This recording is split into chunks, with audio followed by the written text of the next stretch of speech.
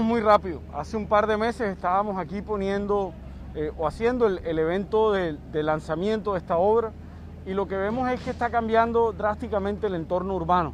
No solo los vecinos ya no tendrán que valerse contra las aguas bravas que bajaban por este sector, que hoy están debajo de nosotros propiamente canalizadas en un box culvert de casi dos metros de alto por más de tres y medio de ancho, sino que al mismo tiempo vamos a tener una renovación urbana, porque hemos cambiado un colector de aguas residuales para mejorar el servicio de alcantarillado.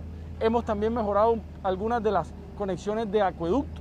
Además, hemos mejorado la iluminación y vamos a tener una transformación en el entorno urbano con agradables y cuantiosos andenes para la gente. En menos de un, mes largo estaremos inaugurando más de 200 y algo metros de esta vía, poniéndola al servicio de los barranquilleros y muy contentos porque esto es calidad de vida, esto es transformación de nuestra, de nuestra ciudad hermosa y esto significa que aquí la platica bien manejada siempre alcanza porque la hacemos rendir y la ponemos al servicio de los barranquilleros. Esto es nuevamente una demostración de que el barranquillero siempre encuentra la manera cuando se lo propone y trabaja unido. Esto lo hicimos, como tantos arroyos, con ingeniería criolla, con plata de los impuestos de los barranquilleros. No es un regalo que cayó del cielo.